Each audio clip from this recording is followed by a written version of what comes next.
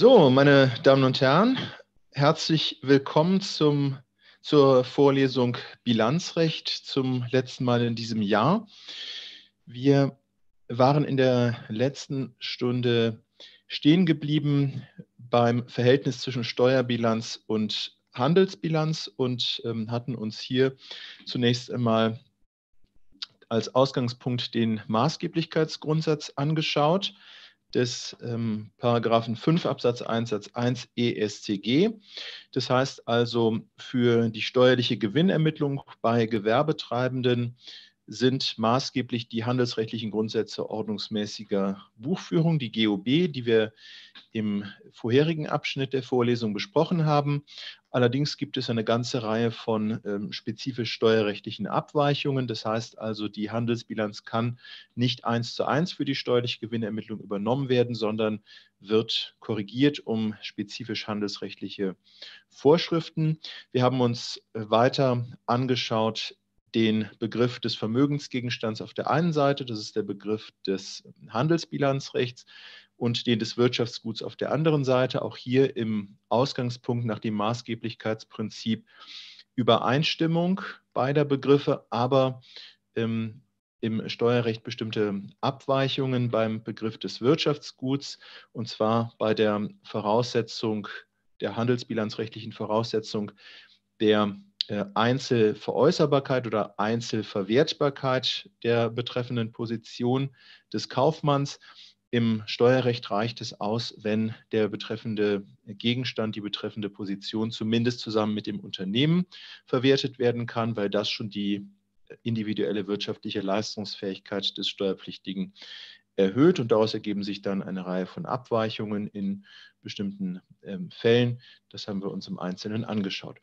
Dann weiter, dort wo wir ein handelsrechtliches Aktivierungswahlrecht haben, wird daraus im Steuerrecht im Grundsatz eine Aktivierungspflicht wieder zu erklären aus dem Bestreben des Steuerrechts, die wirtschaftliche Leistungsfähigkeit des Steuerpflichtigen vollständig zu erfassen. Wir hatten das am Beispiel des Disagio uns näher angeschaut und dort, wo wir ein handelsbilanzrechtliches Passivierungswahlrecht haben, haben wir steuerbilanzrechtlich grundsätzlich ein Passivierungsverbot. Auch das durch Artikel 3.1 Grundgesetz zu erklären. So, dann wollen wir uns heute noch ähm, anschauen, die ähm, ein, zwei wichtige Fälle einer ähm, spezifisch steuerrechtlichen Rücklage, die den steuerlichen Gewinn mindert. Das sind also Rücklagen, die in der Handelsbilanz nicht auftauchen, sondern das sind spezifisch steuerrechtliche Vorschriften, die zu einer Abweichung der Steuerbilanz von der Handelsbilanz führen. Und äh, hier ist zum einen zu nennen die ausdrücklich im Gesetz geregelte Reinvestitionsrücklage, Paragraph 6b Absatz 3 EStG ist das, da schauen wir einmal hinein, Paragraph 6b Absatz 3. 3. Zunächst einmal Paragraph 6b Absatz 1 regelt die Möglichkeit der Übertragung stiller Reserven. Wir hatten ja schon ähm, im Zusammenhang mit dem Vorsichts-, mit dem Realisationsprinzip besprochen, dass sich durch eine Abweichung des Verkehrswerts oder im Steuerrecht spricht man von Teilwert und dem Buchwert von bestimmten Vermögensgegenständen oder Wirtschaftsgütern im Steuerrecht sogenannte stille Reserven ergeben können. Und diese stillen Reserven werden dann bei Veräußerung des betreffenden Vermögensgegenstands bzw. steuerrechtlich Wirtschaftsguts aufgedeckt, was bedeutet, dass sie den steuerlichen Gewinn grundsätzlich erhöhen. Das ist für den Steuerpflichtigen nachteilig, weil er dann die vollen stillen Reserven grundsätzlich zu versteuern hat. Das kann den Steuerpflichtigen in Liquiditätsschwierigkeiten bringen. Und um solche Liquiditätsschwierigkeiten zu vermeiden, regelt 6b Absatz 1 die Möglichkeit der Übertragung solcher stillen Reserven auf Ersatzwirtschaftsgüter.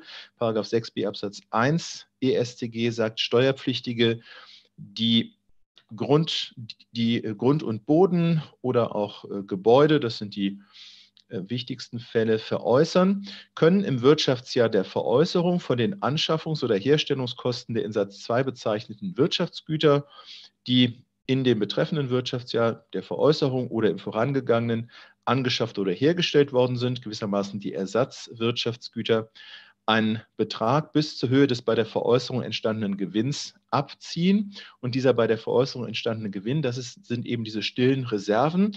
Die können also auf diese Ersatzwirtschaftsgüter übertragen werden. Das gilt allerdings nur bei ganz bestimmten Wirtschaftsgütern, insbesondere bei Grund und Boden und bei den aufstehenden Gebäuden.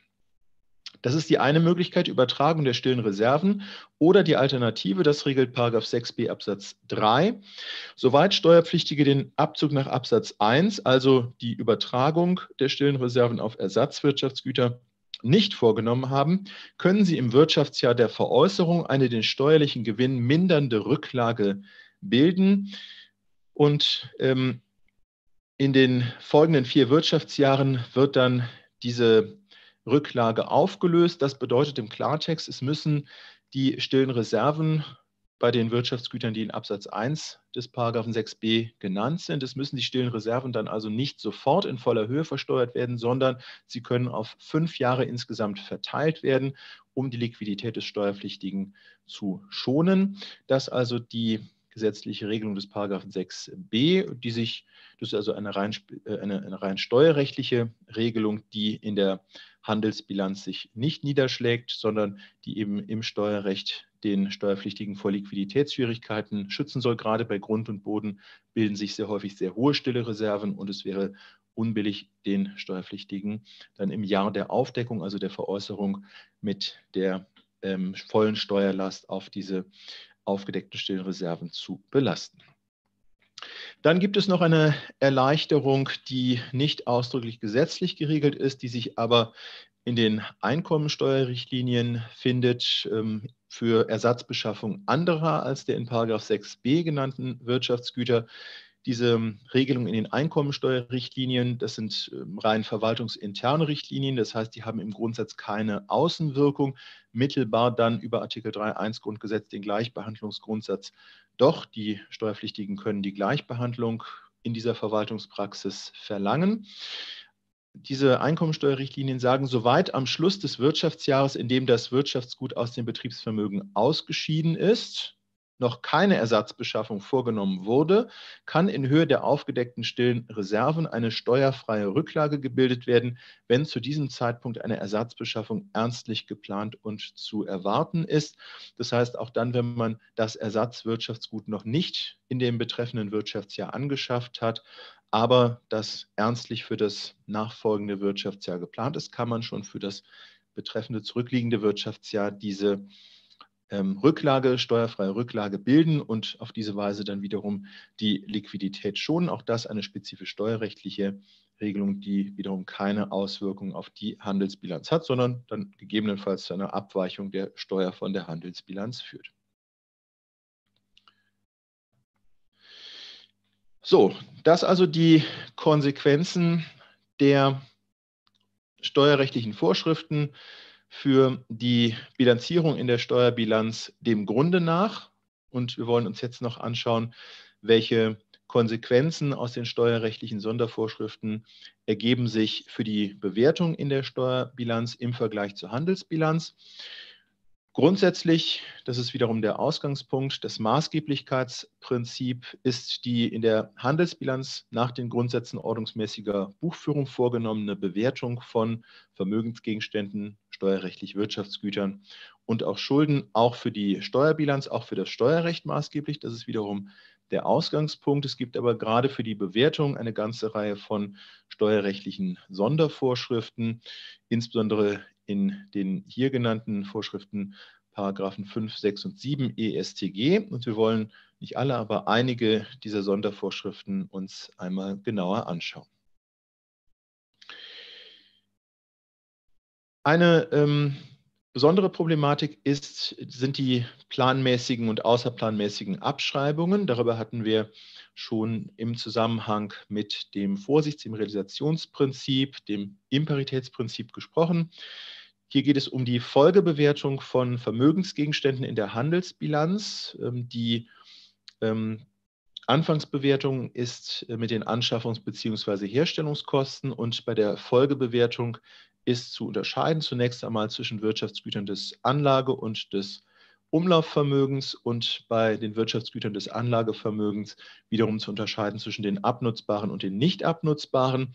Bei den abnutzbaren wird Vermögensgegenständen des Anlagevermögens sind planmäßige Abschreibungen vorzunehmen, sagt 253 Absatz 3 Satz 1 HGB.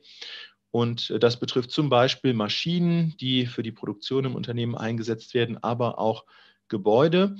Das Handelsbilanzrecht schreibt die Abschreibungsmethode nicht vor. Den, mit den GOB vereinbar ist sowohl die lineare Abschreibungsmethode als auch die degressive. Und bei der degressiven gibt es dann noch verschiedene Unterarten, die im Grundsatz alle mit den GOB übereinstimmen. Das heißt also, im Handelsbilanzrecht hat man insoweit ein Bewertungswahlrecht, welche Abschreibungsmethode man anwendet. Wir hatten uns schon einmal das Beispiel angeschaut des Einzelkaufmanns, der im Jahr 2000 ein Betriebsgrundstück erworben hat für damals 100.000. Das waren die Anschaffungskosten. Inzwischen zum 31.12.2018 ist der Verkehrswert dieses Grundstücks 300.000. Gleichwohl bleibt das Betriebsgrundstück nach wie vor mit 100.000 in der Bilanz stehen. Und es handelt sich ja um zwar einen Vermögensgegenstand des Anlagevermögens, aber eben einen nicht abnutzbaren Vermögensgegenstand. Grundstücke, Grund und Boden sind nicht abnutzbar, sodass hier auch keine planmäßigen Abschreibungen vorzunehmen sind, aufgrund des Realisationsprinzips, aber eben auch keine Berücksichtigung des inzwischen deutlich höheren Verkehrswerts stattfindet. Im Jahr 2018 ist darüber hinaus eine Maschine für 20.000 erworben worden. Diese hat eine voraussichtliche Nutzungsdauer von zehn Jahren. Und hier handelt es sich nun um ein abnutzbares Wirtschaftsgut, Vermögensgegenstand, handelsbilanzrechtlich des Anlagevermögens, sodass wir hier planmäßige Abschreibungen vornehmen müssen. Und hier besteht eine, ähm, die Wahl zwischen der linearen und der degressiven Abschreibungsmethode.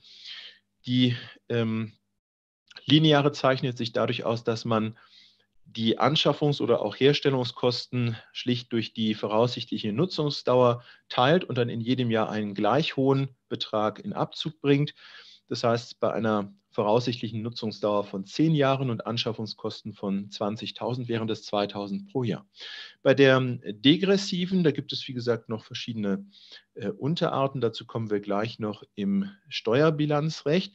Bei der degressiven ähm, wird üblicherweise ein bestimmter Prozentsatz pro ähm, Jahr in Abzug gebracht, der sich dann wiederum nach der voraussichtlichen Nutzungsdauer richtet und ähm, man kommt hier zu fallenden Beträgen. Das heißt, in der Anfangszeit hat man höhere Abzugsbeträge, in der ähm, späteren Zeit dann niedrigere. Ähm, Im ersten Jahr wäre das, wenn man schlicht die ähm, die Prozentzahl nach der voraussichtlichen Nutzungsdauer, zehn Jahre berechnet, wären das 10 Prozent pro Jahr und im ersten Jahr wären das ebenfalls 2000 wie bei der linearen. Es gibt aber noch ähm, degressive Abschreibungsmethoden, bei denen man in den Anfangsjahren zu höheren Beträgen kommt. Dazu gleich dann noch im Steuerrecht. Und ähm, für das Folgejahr würde sich dann aber eine Abweichung ergeben. Bei der degressiven hat man ja fallende Beträge, bei der linearen gleich hohe Beträge.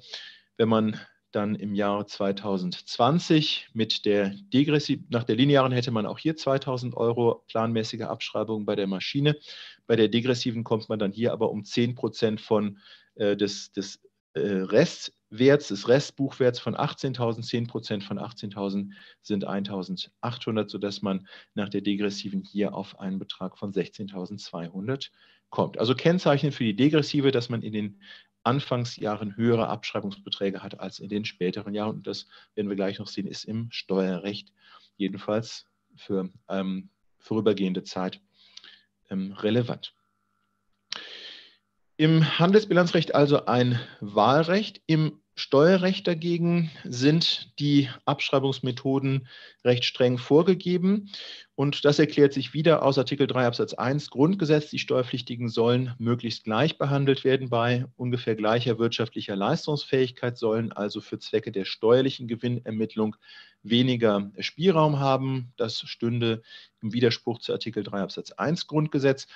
Der Grundsatz des Steuerbilanzrechts ergibt sich aus Paragraph 7 Absatz 1 Satz 1. Das ist die lineare Abschreibung.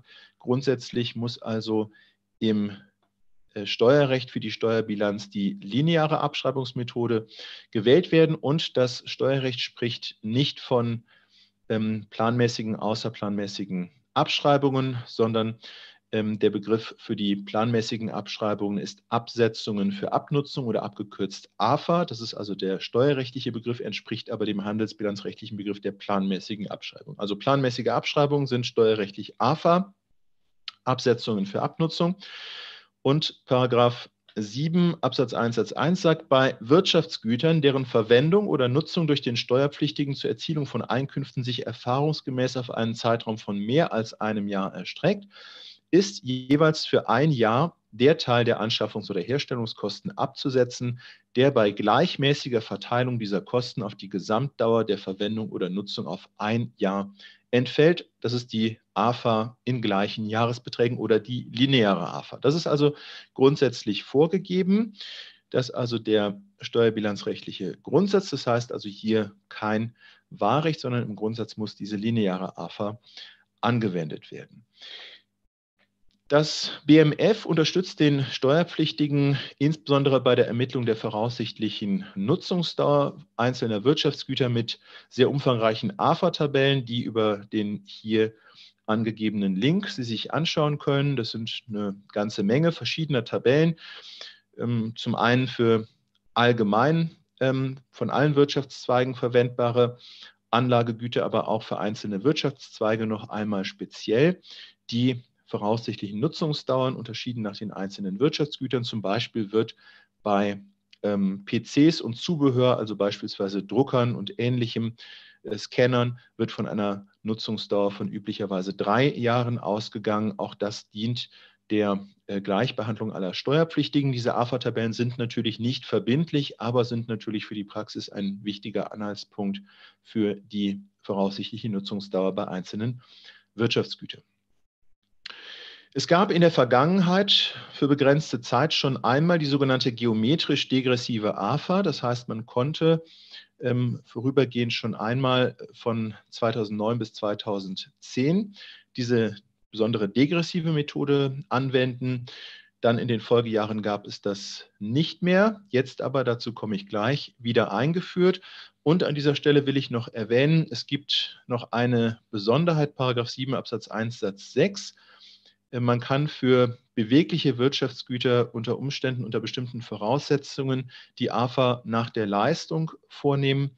Paragraph 7 Absatz 1 Satz 6 sagt, bei beweglichen Wirtschaftsgütern des Anlagevermögens, bei denen es wirtschaftlich begründet ist, die Absetzung für Abnutzung nach Maßgabe der Leistung des Wirtschaftsguts vorzunehmen, kann der Steuerpflichtige dieses Verfahren statt der Absetzung für Abnutzung in gleichen Jahresbeträgen anwenden, wenn er den auf das einzelne Jahr entfallenden Umfang der Leistung nachweist.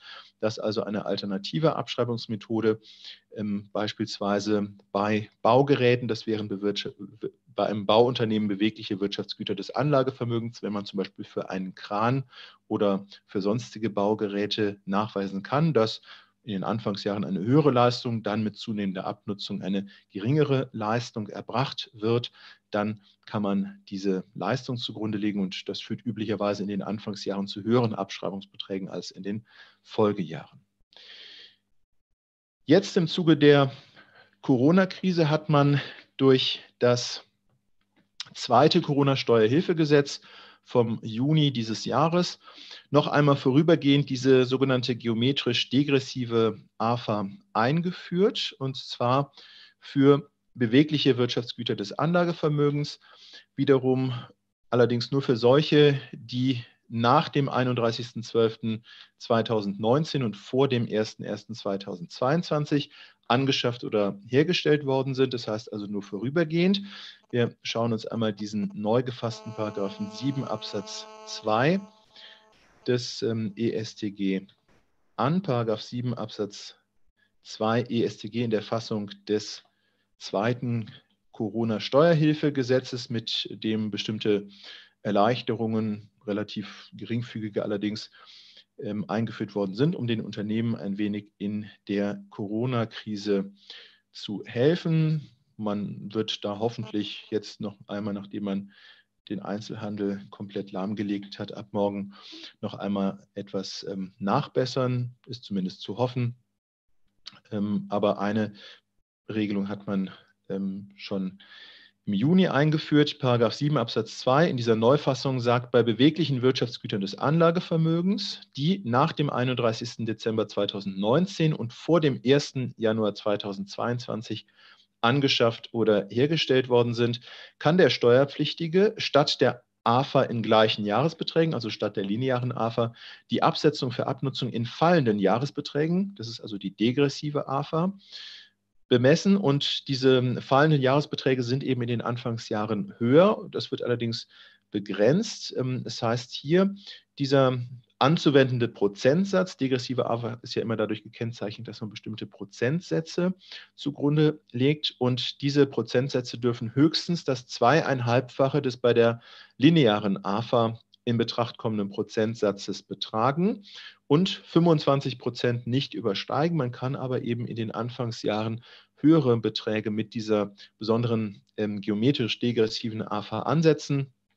Und das führt dann zu einer Schonung der Liquidität der Unternehmen. Die haben dann höhere Absetzungsbeträge. Das bedeutet, ähm, man hat im Ergebnis dann äh, weniger Aktivvermögen und damit potenziell auch weniger zu versteuernden äh, Gewinn wertmäßig, mit der Folge, dass auch die Steuerlast etwas geringer wird. Das dient also dazu, den in eine Krise geratenen Unternehmen, vor allen Dingen den in eine Krise geratenen Unternehmen, ähm, dann die Liquidität etwas zu schonen, also vorübergehende ähm, Rückkehr ähm, als alternative AFA-Methode zur geometrisch degressiven AFA. Der Grundsatz bleibt aber die lineare.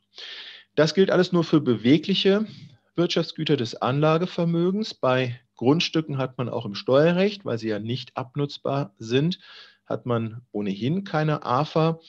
Ähm, aber bei den aufstehenden Gebäuden und bei den Gebäuden und Gebäudeteilen gibt es eine ganze Reihe von Sondervorschriften, die finden Sie in Paragraph 7 Absatz 4, 5 und 5a ESTG. Da nur ein ganz kurzer Blick, das müssen wir uns jetzt nicht im Detail anschauen. Wenn Sie da aber hineinschauen, dann sehen Sie, da wird unterschieden zwischen dem, äh, nach dem Alter der Gebäude und da werden dann bestimmte Prozentsätze äh, festgelegt, ähm, je nach Alter des Gebäudes und ähm, auch für die ähm, Folgejahre dann unterschiedliche Prozentsätze. Das also die Sonderregelung für AFA bei Gebäuden. Das heißt also auch hier ist das steuerrechtlich wiederum im Interesse der Gleichbehandlung, Artikel 3.1 Grundgesetz, zwingend vorgeschrieben, wie die Abschreibung vorzunehmen ist.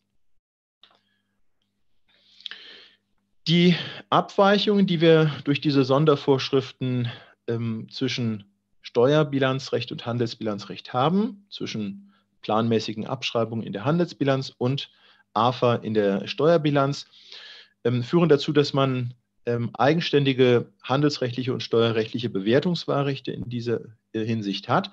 Und das kann dazu führen, dass Handels- und Steuerbilanz hier bei der Bewertung auseinanderfallen. Und das wiederum kann dazu führen, dass sie dann im Sinne des Paragraphen 274 HGB in der Handelsbilanz bei Kapitalgesellschaften Posten für aktive ähm, beziehungsweise passive latente Steuern haben, weil sich aus diesen Abweichungen in der Zukunft eine steuerliche Belastung oder auch Entlastung ergeben kann.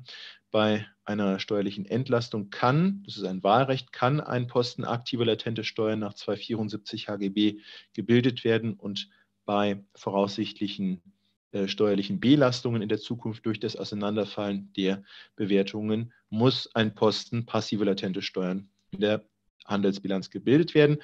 Diese aktiven, passiven, latenten Steuern sind aber ein rein handelsrechtlicher Posten, der in der ähm, Steuerbilanz nicht auftaucht, der aber eben resultiert aus diesen Bewertungsdivergenzen zwischen Handelsbilanz und Steuerbilanz, wie sie insbesondere bei den planmäßigen Abschreibungen bzw. AFA auftreten können.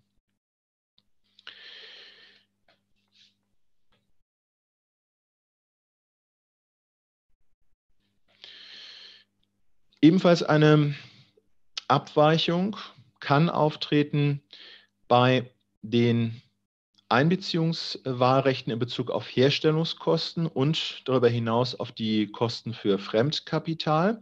Wir hatten uns in der zurückliegenden Stunde kurz angeschaut die Einbeziehungswahlrechte bei den Herstellungskosten. Bei selbst hergestellten Vermögensgegenständen sind ja für die ähm, Anfangsbewertung in der Handelsbilanz die Herstellungskosten maßgeblich und ähm, in die Herstellungskosten können bestimmte ähm, Positionen noch mit einbezogen werden. Paragraph 255 Absatz 2 HGB schreibt zum einen bestimmte ähm, Teile ähm, verbindlich vor für die Herstellungskosten und andere Positionen können nur einbezogen werden. Und bezüglich dieser ähm, Kann-Vorschrift, der handelsbilanzrechtlichen Kann-Vorschrift, stellt sich die Frage, wie ist das in der Steuerbilanz mit diesen Teilen der Herstellungskosten bezüglich derer ein Einbeziehungs- und damit Bewertungswahlrecht in der Handelsbilanz besteht. Wie ist das in der Steuerbilanz? Müssen diese Teile einbezogen werden oder besteht auch hier ein steuerrechtliches, steuerbilanzrechtliches Wahlrecht. Paragraph 255 Absatz 2 sagt, Herstellungskosten sind die Aufwendungen, die durch den Verbrauch von Gütern und die Inanspruchnahme von Diensten für die Herstellung eines Vermögensgegenstands seiner Erweiterung oder für eine über seinen ursprünglichen Zustand hinausgehende wesentliche Verbesserung entstehen. Das wären beispielsweise die verbrauchten Rohstoffe oder auch wenn Fremdunternehmen mit der Herstellung oder mit Teilen der Herstellung beauftragt werden, die dafür anfallenden Dienst- oder Werklohnkosten. Das muss also einbezogen werden. Und ähm, Materialkosten, Fertigungskosten, Sonderkosten der Fertigung, angemessene Teile der Materialgemeinkosten. Das sind alles Kosten, die tatsächlich dem konkreten Herstellungsprozess für diesen Vermögensgegenstand zugeordnet werden können. Dann heißt es weiter, bei der Berechnung der Herstellungskosten dürfen, das heißt also ein Einbeziehungswahlrecht, angemessene Teile der Kosten der allgemeinen Verwaltung, also für die beispielsweise Büroverwaltung des betreffenden Unternehmens, angemessene Aufwendungen für soziale Einrichtungen des Betriebes, freiwillige soziale Leistungen und die betriebliche Altersversorgung einbezogen werden, soweit diese auf den Zeitraum der Herstellung entfallen, dürfen einbezogen werden. Das ist also ein Einbeziehungswahlrecht und hier geht es um Kosten, die sich nicht dem konkreten Herstellungsprozess für diesen Vermögensgegenstand zuordnen lassen, sondern die für den Betrieb allgemein anfallen, die natürlich dann anteilig auch ähm, für den Herstellungsprozess aufgewendet werden, aber die sich diesem Herstellungsprozess nicht konkret und spezifisch zuordnen lassen. Da dürfen aber angemessene Teile, wie es hier heißt, einbezogen werden. Das ist also ein handelsbilanzrechtliches Wahlrecht und die äh, Einbeziehungswahlrecht, Bewertungswahlrecht. Und ähm, kein Streit besteht bezüglich der sogenannten Wert- Untergrenze, das ist für das Steuerrecht maßgeblich. Das heißt also diejenigen Positionen, die nach 255 Absatz 2 Sätze 1 und 2 einbezogen werden müssen, die bilden auch zugleich steuerrechtlich die Wertuntergrenze. Die Frage aber ist, ähm, wie sieht das mit diesem Einbeziehungswahlrecht, das wir handelsbilanzrechtlich haben, in der Steuerbilanz aus? Ist das maßgeblich oder nicht? Da war die Rechtslage lange Zeit nicht ganz klar. Es gab also keine explizite gesetzliche Regelung. Es gab aber allerdings einander ein wenig widersprechende ähm, Richtlinien der Finanzverwaltung. Ähm, diese, die hier wiedergegebene Passage in den Einkommensteuerrichtlinien 2012 konnten sich in Richtung einer Aktivierungspflicht, also einer Einbeziehungspflicht bezüglich dieser Teile der Allgemeinkosten, ähm, konnten in diese Richtung verstanden werden. Ähm, in die Herstellungskosten eines Wirtschaftsguts sind auch angemessene Teile der notwendigen Materialgemeinkosten und so weiter ähm, einzubeziehen, sind einzubeziehen. Das klang nach einer Einbeziehungspflicht. Das heißt also steuerrechtlich schien es nach dieser ähm, Regelung so zu sein, dass kein Wahlrecht bestand. Nochmal, diese Einkommensteuerrichtlinien haben ja zunächst einmal nur verwaltungsinterne Wirkung, mittelbar dann aber auch nach außen, weil die Praxis sich dann, um keinen Konflikt mit der Finanzverwaltung zu bekommen, üblicherweise dann doch an diesen Richtlinien orientiert. Eine andere Regelung in den Einkommensteuerrichtlinien von 2008, auf die dann aber auch in den Richtlinien von 2012 noch Bezug genommen wurde, sprach dagegen für die Maßgeblichkeit. Ähm, Dort heißt es, das handelsrechtliche Bewertungswahrrecht für Kosten der allgemeinen Verwaltung und so weiter, für diese allgemeinen Kosten gilt auch für die Steuerbilanz, heißt es hier also eine nicht ganz eindeutige Regelung in den Einkommensteuerrichtlinien. Diese Ungewissheit hat jetzt der Gesetzgeber im Jahre 2016 aber behoben ähm, in Gestalt der neuen Regelung des Paragraphen 6 Absatz 1 Nummer 1b ESTG. Dort heißt es jetzt ausdrücklich, bei der Berechnung der Herstellungskosten brauchen angemessene Teile der Kosten der allgemeinen Verwaltung, allgemeine äh, angemessene Aufwendungen für soziale Einrichtungen, freiwillige soziale Leistungen und für die betriebliche Altersversorgung im Sinne des Paragraphen 255 Absatz 2 Satz 3 nicht einbezogen zu werden, soweit diese auf den Zeitraum der Herstellung entfallen. Das Wahlrecht ist aber in Übereinstimmung mit der Handelsbilanz auszuüben. Also wir haben auch ein steuerbilanzrechtliches Wahlrecht nach dieser neuen Regelung, nach dieser ausdrücklichen Regelung. Aber es müssen sowohl in der Handelsbilanz als auch in der Steuerbilanz müssen diese Wahlrechte übereinstimmend ausgeübt werden. Das heißt also, es ist letztendlich doch sichergestellt, dass Steuer- und Handelsbilanz wieder übereinstimmen in dieser Hinsicht, sodass sich hier jetzt keine Abweichung mehr ergeben kann. Es besteht ein Wahlrecht, aber das muss übereinstimmend ausgeübt werden. Eine ähnliche Problematik stellt sich auch bei den Fremdkapitalkosten. Das ist Paragraph 255 Absatz 3 HGB.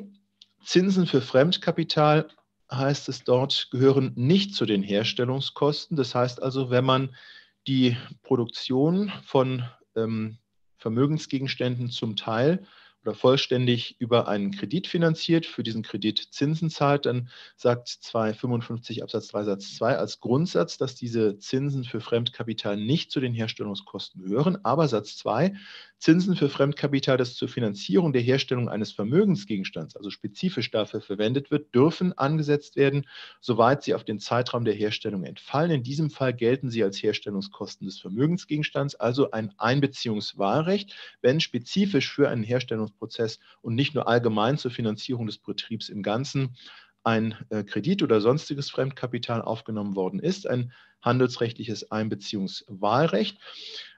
Da gibt es ebenfalls ähm, eine Äußerung in den Einkommensteuerrichtlinien. Dort heißt es, das handelsrechtliche Bewertungswahrrecht für Fremdkapitalzinsen gilt auch für die steuerliche Gewinnermittlung, heißt es hier. Und auch hier ähm, dann aber, wenn die handelsrechtlichen Fremdkapitalzinsen einbezogen worden sind, dann sind sie auch in der steuerlichen Gewinnermittlung als Herstellungskosten zu beurteilen. Also auch hier ähm, besteht ein Wahlrecht, aber das muss übereinstimmend ausgeübt werden. Das heißt, wir haben jetzt auch durch diese Neuregelung des Paragraphen 6 ähm, Absatz 1 Nummer 1b ESTG in Bezug auf diese beiden Einbeziehungswahlrechte, die ähm, lange etwas problematisch waren, einen Gleichlauf. Das heißt also, wir haben in beiden Fällen, sowohl also bei diesen allgemeinen Kosten im Herstellungsprozess als auch bei den Fremdkapitalkosten, sowohl handelsrechtlich als auch steuerrechtlich ein Bewertungswahlrecht. Und ähm, wenn es im Handelsrecht ausgeübt worden ist, dann ist diese Wahl auch für das Steuerbilanzrecht maßgeblich.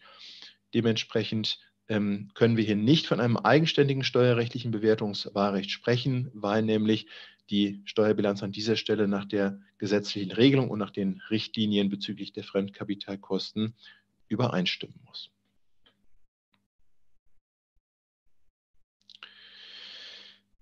Von diesem Ausnahmefall abgesehen besteht im Übrigen der Grundsatz, dass handelsrechtliche Bewertungswahlrechte für das Steuerrecht unbeachtlich sind. Das heißt, ähm, auch hier wieder durch Artikel 3 Absatz 1 Grundgesetz geboten im Interesse der Gleichbehandlung aller ähm, Steuerpflichtigen ähm, sollen Gestaltungsmöglichkeiten bei der Ermittlung des steuerlichen Gewinns vermieden werden und dadurch dann die Gleichmäßigkeit der Besteuerung sichergestellt werden. Und auch insoweit kann es dann zu Divergenzen zwischen der Handelsbilanz und der Steuerbilanz kommen.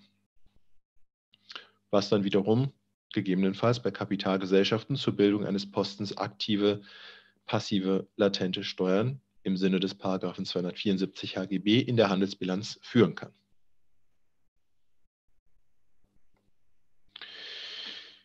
So, wir hatten schon über die planmäßigen Abschreibungen in der Handelsbilanz, AFA in der Steuerbilanz gesprochen und ähm, wollen uns jetzt noch anschauen die außerplanmäßigen Abschreibungen, so heißen sie handelsbilanzrechtlich.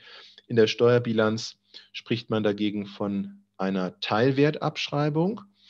Das Steuerrecht ist bei ähm, einer außerplanmäßigen Abschreibung strenger als das Handelsbilanzrecht, was sich wiederum ähm, aus der Zielsetzung des Steuerrechts erklärt, die aktuelle, die tatsächliche wirtschaftliche Leistungsfähigkeit des Steuerpflichtigen zu erfassen. Deswegen lässt das Steuerrecht solche außerplanmäßigen Abschreibungen, beziehungsweise im Steuerrecht heißt es Teilwertabschreibungen, nur bei einer voraussichtlich dauernden Wertminderung zu. Nur dann, wenn voraussichtlich dauerhaft der Wert von Wirtschaftsgütern gemindert ist, kann, und das ist hier im Steuerrecht dementsprechend ein Wahlrecht, kann der niedrigere Teilwert angesetzt werden.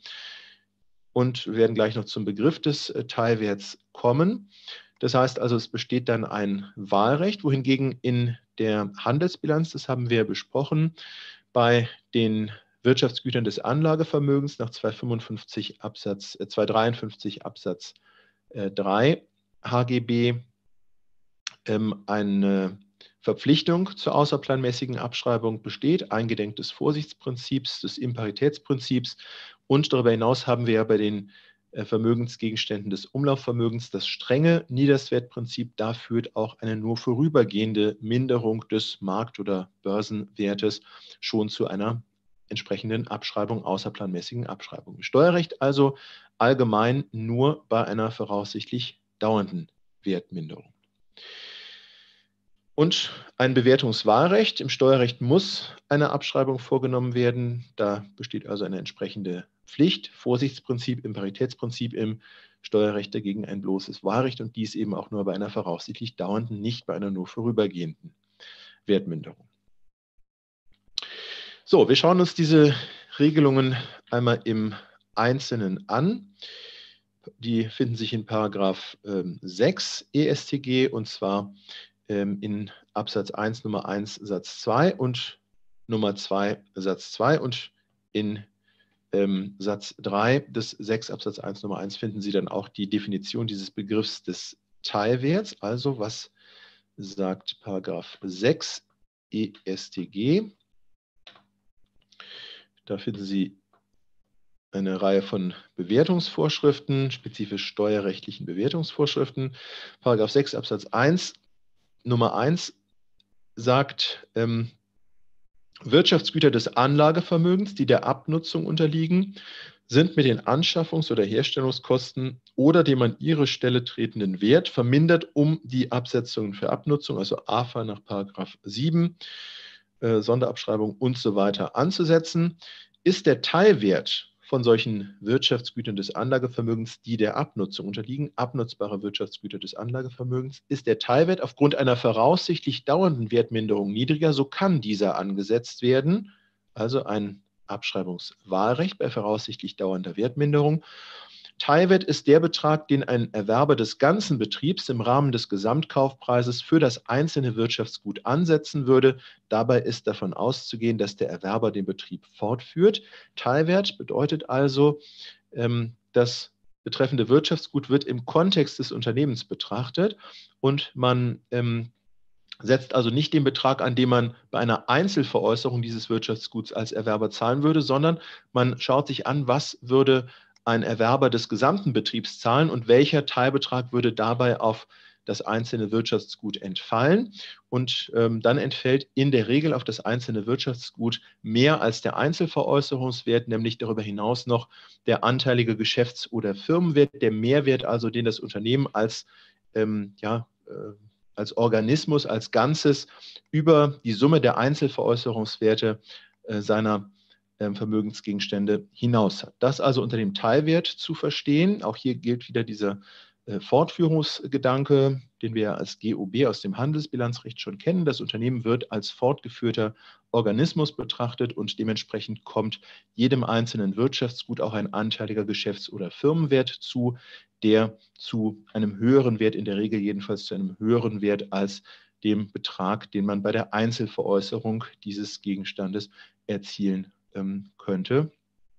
Das also die Regelung des Paragraphen 6. Bei voraussichtlich dauernder Wertminderung und dann, das gilt also für abnutzbare Wirtschaftsgüter des Anlagevermögens und für alle anderen regelt Paragraph 6 Absatz 1 Nummer 2 andere als die in Nummer 1 bezeichneten Wirtschaftsgüter des Betriebs.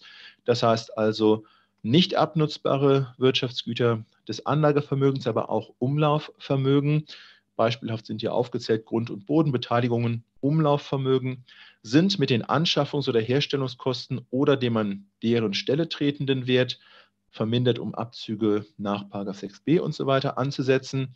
Ist der Teilwert aufgrund einer voraussichtlich dauernden Wertminderung niedriger, so kann diese angesetzt werden. Das heißt also auch hier ein Abschreibungswahlrecht, aber auch nur bei einer voraussichtlich dauernden Wertminderung, wohingegen im Handelsbilanzrecht bei einer ähm, vorübergehenden Wertminderung schon nach dem strengen Niederstwertprinzip beim Umlaufvermögen eine außerplanmäßige Abschreibung vorgenommen werden muss. Im Handelsrecht, äh, im Steuerrecht nur ein Wahlrecht und darüber hinaus auch nur bei einer voraussichtlich dauernden Wertminderung. Der Hintergrund ist, nur bei einer voraussichtlich dauernden Wertminderung ist die wirtschaftliche Leistungsfähigkeit des Steuerpflichtigen tatsächlich gemindert, bei einer nur vorübergehenden nicht. Das führt zu der Frage, wann ist von einer solchen voraussichtlich dauernden Wertminderung auszugehen? Dazu hat sich der BFH noch einmal in einer neueren Entscheidung geäußert. Da ging es um verzinsliche Wertpapiere, die auf einen Nominalbetrag lauteten. Das heißt also, bei deren Fälligkeit beim Ablauf der Laufzeit musste dieser Nominalbetrag dann auch wieder zurückgezahlt werden.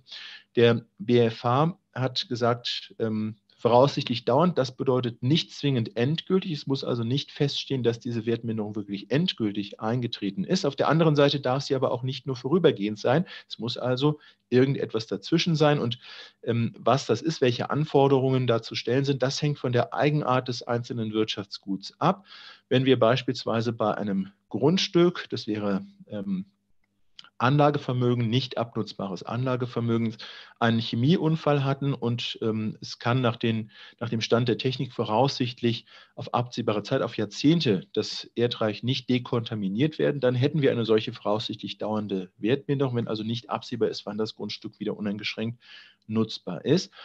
Bei den Wertpapieren, um die es im Fall des BFH ging, da war es zu einem zwischenzeitlichen Kurseinbruch gekommen und es war nicht absehbar, dass sich der Kurs wieder erholen würde. Aber der BFH hat gesagt, wir haben es ja hier mit Wertpapieren zu tun, die auf den Nominalbetrag lauten, die dementsprechend am Ende der Laufzeit auch zum Nominalbetrag wieder dann ähm, oder bei denen der Nominalbetrag wieder zurückzuzahlen ist an den Kapitalgeber.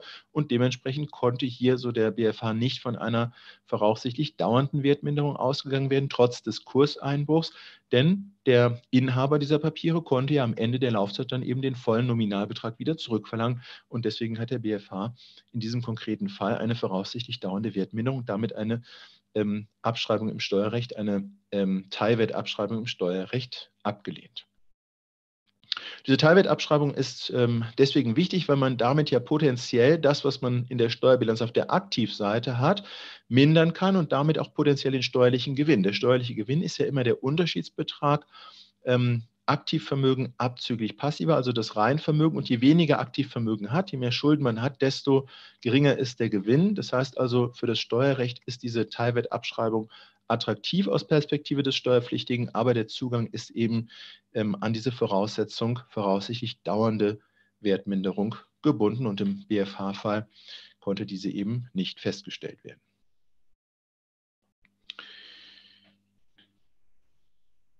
Handelsrechtlich, wenn wir im Handelsrecht eine voraussichtliche, voraussichtlich dauernde Wertminderung des Vermögensgegenstands haben, dann muss nach dem Vorsichtsprinzip, dem Imparitätsprinzip, der niedrigere beizulegende Wert, der Zeitwert angesetzt werden.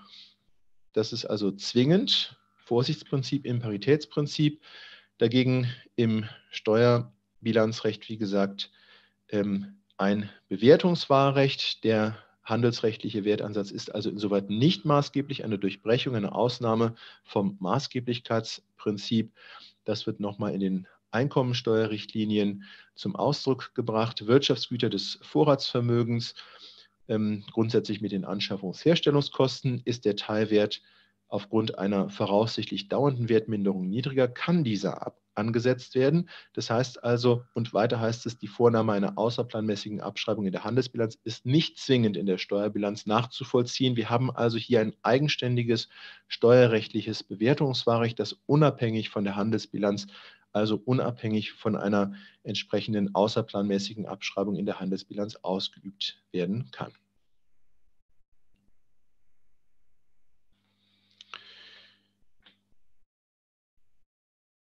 Bei Finanzanlagen hat man durch eine neuere Regelung in 253 Absatz 3 Satz 6 HGB eingeführt, dass ähm, dort auch bei einer voraussichtlich vorübergehenden Wertminderung die Möglichkeit zu einer außerplanmäßigen Abschreibung besteht.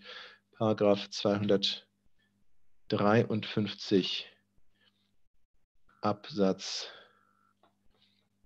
3 Satz 6 sagt, bei Finanzanlagen können außerplanmäßige Abschreibungen auch bei voraussichtlich nicht dauernder Wertminderung, also nur vorübergehender Wertminderung, vorgenommen werden. Finanzanlagen, das sind zum Beispiel Anteile an verbundenen Unternehmen, Unternehmen also, die insbesondere demselben Konzern angehören, wenn man an diesen Unternehmen Anteile hält dann bezeichnet man das als Finanzanlagenanteile, die beispielsweise bei einer Muttergesellschaft den dauerhaften Einfluss bei dem Tochterunternehmen sicherstellen sollen.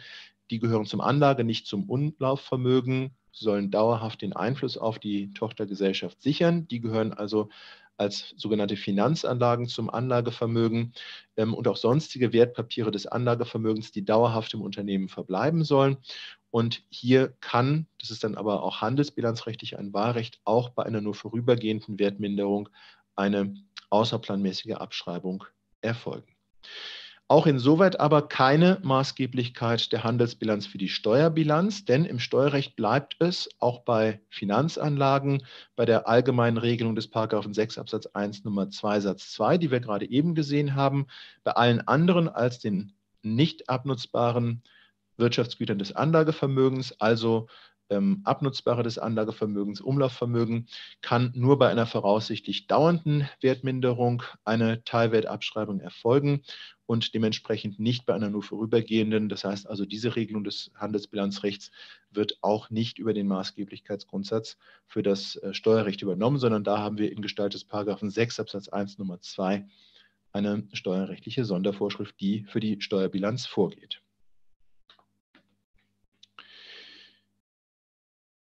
Bei Vermögensgegenständen des Umlaufvermögens gilt handelsbilanzrechtlich das strenge Niederswertprinzip, nochmal Paragraph 253 Absatz 4 HGB. Bei Vermögensgegenständen des Umlaufvermögens sind Abschreibungen vorzunehmen, eine Verpflichtung eingedenk des Vorsichts des Imparitätsprinzips, um diese mit einem niedrigeren Wert anzusetzen, der sich aus einem Börsen- oder Marktpreis am Abschlussstichtag ergibt, und zwar auch bei einer nur vorübergehenden Wertminderung aufgrund eines niedrigeren Börsen- oder Marktpreises im Vergleich zum Buchwert, also zu den Anschaffungsherstellungskosten. Im Steuerrecht also eine Verpflichtung zu außerplanmäßigen Abschreibungen. Im, ähm, im Handelsrecht im Steuerrecht dagegen bleibt es wiederum bei diesem Grundsatz des Paragraphen 6 Absatz 1 Nummer 2 Satz 2. Beim Umlaufvermögen ähm, gilt wiederum nur bei einer voraussichtlich dauernden Wertminderung darf hier, und das ist dann ein Wahlrecht in der Steuerbilanz, eine Teilwertabschreibung erfolgen.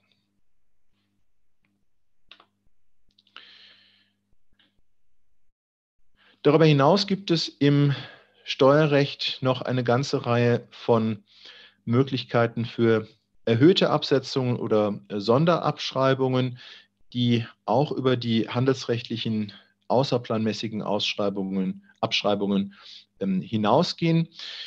Erhöhte Absetzungen können anstelle der regulären AFA angesetzt werden und bei Sonderabschreibungen handelt es sich um Abschreibungen, die zusätzlich zu den regulären AFA ähm, angesetzt werden können. Das sind rein steuerrechtliche Vorschriften, die also in der Handelsbilanz keine Entsprechung haben, wiederum auch zu einer Abweichung zwischen Handels- und Steuerbilanz führen. Schauen wir uns einmal diese erhöhten Absetzungen an. Das sind insbesondere die Paragraphen 7h und 7i ESTG. Da kann also wahlweise anstelle der sich aus 7 für den Regelfall ergebenden ähm, AFA eine erhöhte AFA vorgenommen werden. Wir werfen einen kurzen Blick in den Paragraphen 7h ESTG zunächst einmal und dann Paragraph 7 I ESTG. Paragraph 7h ESTG regelt erhöhte Absetzungen bei Gebäuden in Sanierungsgebieten und städtebaulichen Entwicklungsbereichen bei einem im Inland belegenen Gebäude in einem förmlich festgelegten Sanierungsgebiet oder städtebaulichen Entwicklungsbereich kann der Steuerpflichtige abweichen von diesen allgemeinen Vorschriften für Gebäude in 7 Absätze 4 folgende im Jahr der Herstellung und in den folgenden sieben Jahren jeweils bis zu 9 Prozent, das sind also deutlich erhöhte AFA, ähm, vornehmen. Äh, hier will man für Modernisierungs- und Instandsetzungsmaßnahmen, hier geht es um gewissermaßen heruntergekommene Stadtteile und um einen steuerlichen Anreiz zu schaffen für Sanierungsmaßnahmen der Eigentümer von dort belegenden Immobilien, diese Möglichkeit der erhöhten ähm, Absetzungen. Das ist also eine Lenkungsnorm, die einen Anreiz bieten soll, einen steuerlichen Anreiz bieten soll für die Sanierung von, ja, salopp gesagt, heruntergekommenen Stadtteilen oder Gebäuden in heruntergekommenen Stadtteilen. Also eine Lenkungsnorm und ähm, Ganz ähnlich die Regelung des Paragraphen 7i, erhöhte Absetzung bei Baudenkmalen bei einem im Inland belegenen Gebäude, das nach den jeweiligen landesrechtlichen Vorschriften ein Baudenkmal ist, kann der Steuerpflichtige wiederum abweichen von den allgemeinen AFA für Gebäude im Jahr der Herstellung und in den folgenden sieben Jahren jeweils bis zu 9 Prozent der Herstellungskosten für Baumaßnahmen ähm, und so weiter absetzen. Ja, dass ähm, auch hier eine Lenkungsnorm, das dient dazu, dass man in Baumaßnahmen für Baudenkmäler im öffentlichen Interesse letztendlich investiert. Das soll mit einem steuerlichen Anreiz gefördert werden. Das also erhöhte AFA und es gibt noch einige Vorschriften, die Sonderabschreibungen gestatten, die dann zusätzlich hinzutreten zu den regulären AFA. Ähm, das sind insbesondere die Paragraphen 7b, äh, 7c und 7g ESTG. Paragraph, wir schauen erstmal Paragraph 7 äh, uns an. Das ist eine ähm, Vorschrift, die sogenannte Investitionsabzugsbeträge und Sonderabschreibungen zur Förderung kleiner und mittlerer Betriebe vorsieht. Steuerpflichtige können für die künftige Anschaffung oder Herstellung von abnutzbaren beweglichen Wirtschaftsgütern, die mindestens bis zum Ende des dem Wirtschaftsjahr der Anschaffung oder Herstellung folgenden Wirtschaftsjahres in einer inländischen Betriebsstätte ausschließlich oder fast ausschließlich betrieblich genutzt werden, bis zu 40 Prozent der voraussichtlichen Anschaffungs- oder Herstellungskosten gewinnmindernd abziehen. Das sind die sogenannten Investitionsabzugsbeträge. Ähm, auf diese Weise soll äh, insbesondere kleinen und mittleren Unternehmen, die dann im Folgenden noch etwas äh, näher definiert werden, ähm, eine Liquiditätsschonung ermöglicht werden, indem sie eben diese Abzugsbeträge, diese recht hohen Abzugsbeträge in Gestalt äh, oder für noch gar nicht getätigte Anschaffungen äh, vornehmen, können Sie ähm, auf der Aktivseite ähm, den Betrag mindern, dadurch also potenziell den steuerlichen Gewinn auch mindern und sich so Liquiditätsvorteile verschaffen. Allerdings steht das unter dem Vorbehalt, dass dann tatsächlich diese Anschaffung ähm, auch realisiert wird. Geschieht das nicht, dann muss diese Rückstellung wieder aufgelöst werden, mit der Folge dann natürlich einer höheren Steuerlast. Das heißt also, das ähm, verschiebt nur ähm, in oder verlagert nur vor in einen früheren Besteuerungszeitraum. Ähm, die Investition muss dann aber gleichwohl anschließend tatsächlich noch getätigt werden. Das ist also eine wirtschaftlich ähm, durchaus sinnvolle Regelung zur Förderung kleiner und mittlerer Unternehmen, um die oftmals ähm, recht problematische, jetzt gerade in der aktuellen Zeit ja problematische Liquidität solcher Unternehmen nicht allzu sehr durch ähm, Steuern zu belasten. Und dann gibt es neuere Regelungen, die ähm, wiederum äh, als Lenkungsvorschriften anzusehen sind. Lenkungsvorschriften, weil sie ein bestimmtes Verhalten vom der Gesetzgeber als ähm, gut bewertetes Verhalten fördern soll, steuerlich fördern soll. Das sind die Paragraphen 7b und ähm, 7c ESTG. Wir schauen uns den 7b an, Sonderabschreibung für Mietwohnungsneubau. Da soll also durch steuerliche Anreize der Neubau von bestimmten Mietwohnungen gefördert werden. Das dürfen allerdings keine Luxuswohnungen sein. Deswegen finden Sie da auch eine Begrenzung auf die Anschaffungs- oder Herstellungskosten. Die dürfen also 3000 Euro je Quadratmeter Wohnfläche nicht übersteigen. Also es sollen keine Luxusimmobilien hier gefördert werden, sondern sozusagen der einfache Wohnungsbau soll gefördert werden. 7b Absatz 1 für die Anschaffung oder Herstellung neuer Wohnungen, die in einem Mitgliedstaat der EU belegen sind, können nach Maßgabe der nachfolgenden Absätze im Jahr der Anschaffung oder Herstellung und den folgenden drei Jahren Sonderabschreibungen bis zu jährlich 5 Prozent und dies dann eben zusätzlich zu den regulären AFA in Anspruch genommen werden. Eine Regelung, die den Mietwohnungsneubau fördern, steuerlich fördern soll. Und eine Regelung, die ähm, Sie in Ihren Gesetzestexten noch nicht finden, das hat einen unionsrechtlichen Hintergrund, ist Paragraph 7c ESTG. Den hat der deutsche Gesetzgeber schon ähm, verabschiedet, aber das Inkrafttreten hängt noch von der Durchführung eines Beihilfeverfahrens bei der Europäischen Kommission ab, bei der EU-Kommission ab, denn diese Regelung begünstigt ähm, bestimmte Unternehmen, könnte dementsprechend beihilferechtlich problematisch sein. Paragraph 7c ESCG bei neuen Elektrofahrzeugen im Sinne des Absatzes 2, die dort also näher definiert werden, und äh, Lastenfahrrädern, die zum Anlagevermögen gehören, kann im Jahr der Anschaffung neben der AFA nach Paragraph 7 Absatz 1 eine Sonderabschreibung in Höhe von 50 Prozent der Anschaffungskosten in Anspruch genommen werden. Auf diesem Wege möchte man die Anschaffung betrieblich genutzter Elektrofahrzeuge fördern, ähm, im, im Sinne also des vom Gesetzgeber oder jedenfalls von der aktuellen Regierung ähm, als opportune erachteten Umstiegs auf ähm, Elektro- Mobilität, Paragraph 7c StG, also auch eine Lenkungsnorm und die ist aber noch nicht in Kraft getreten, weil dann nach Artikel 107.8 AEUV, Vertrag über die Arbeitsweise der Europäischen Union, bei solchen Vorschriften, die möglicherweise eine Beihilfe im unionsrechtlichen Sinne darstellen, also durch die einzelne Unternehmen begünstigt werden, das können auch Steuerbegünstigungen sein. Ähm, diese Regelung muss dann von der EU-Kommission geprüft werden und kann erst nach Durchführung dieses Prüfungsverfahrens in Kraft treten. Deswegen ist diese Vorschrift also noch nicht in Kraft getreten.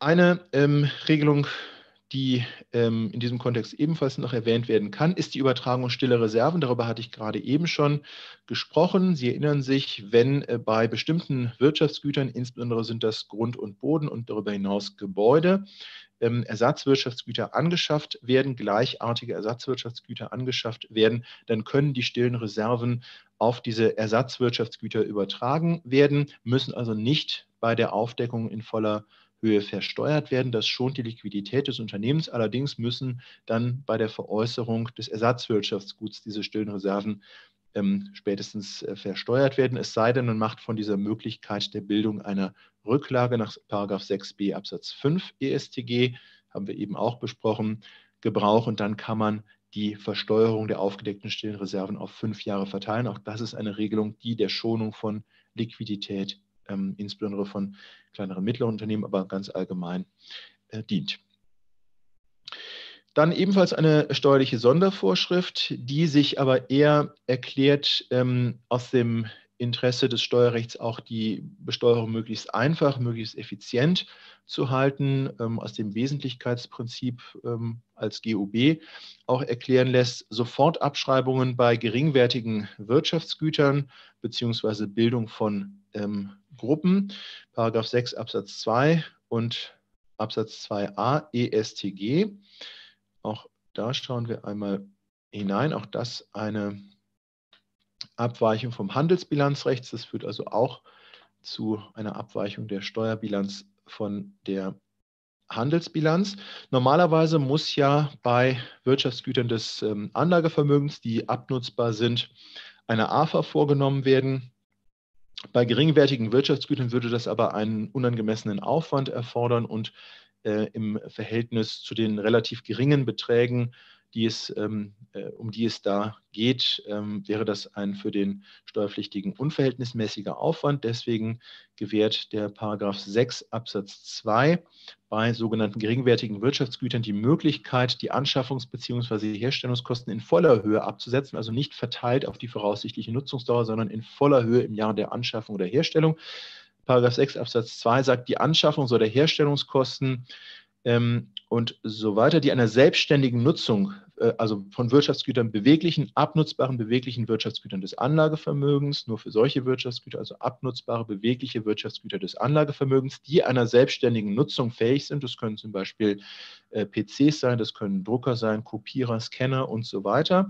Das fällt also darunter und alles andere letztendlich auch. Ähm, die also können im Wirtschaftsjahr der Anschaffung, Herstellung, äh, und so weiter in voller Höhe als Betriebsausgaben abgezogen werden, also nicht verteilt über die voraussichtliche Nutzungsdauer, wenn die Anschaffungs- oder Herstellungskosten vermindert um einen darin enthaltenen Vorsteuerbetrag, also ohne Umsatzsteuer, Nettobetrag ohne Umsatzsteuer, das für das einzelne Wirtschaftsgut 800 Euro nicht übersteigt. Also Nettoanschaffungsherstellungskosten nicht mehr als 800 Euro. Das sind geringwertige Wirtschaftsgüter und hier kann man sich die AFA, wenn man von dieser Möglichkeit Gebrauch macht, sparen und kann sofort die vollen Anschaffungsherstellungskosten im Jahr der Anschaffung bzw. Herstellung steuerlich hinabzubringen. Nur steuerlich im Handelsbilanzrecht bleibt es dagegen bei, grundsätzlich zumindest bei der ähm, Notwendigkeit von außerplanmäßigen Abschreibungen.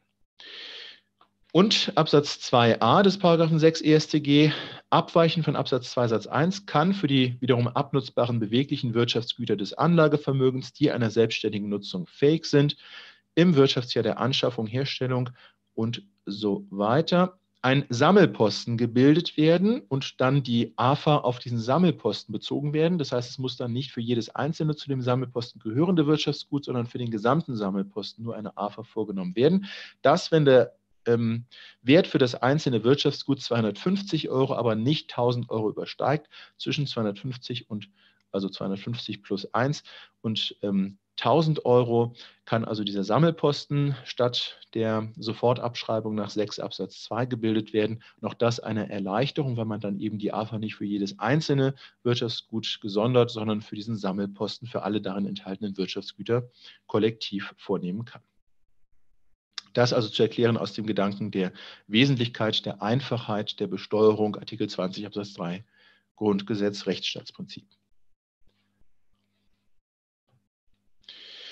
So, das also zu den Besonderheiten in der äh, Steuerbilanz. Ja, Ausgangspunkt das Maßgeblichkeitsprinzip, aber Sie haben gesehen, dass es da insbesondere bei der Bewertung doch eine ganze Reihe von hm, spezifisch steuerrechtlichen Abweichungen gibt. Nicht nur bei der Bewertung, auch bei dem Ansatz im Grunde nach können sich durch diese Divergenz zwischen dem Begriff des Vermögensgegenstands und des Wirtschaftsguts Abweichungen ergeben. Wir wollen uns jetzt im nächsten Teil der Vorlesung noch äh, anschauen, die Grundzüge der kaufmännischen Buchführung und Gewinnermittlung. Und ähm, im darauffolgenden Teil der Vorlesung werden wir dann auch einige sogenannte Buchungssätze zusammen machen. Das wird dann aber erst im neuen Jahr sein. Das schaffen wir heute nicht mehr. Einige Buchungssätze, das heißt, wir werden uns einmal anschauen anhand einiger Beispiele, wie diese kaufmännische Buchführung und Kontenführung während des Geschäftsjahres aussieht.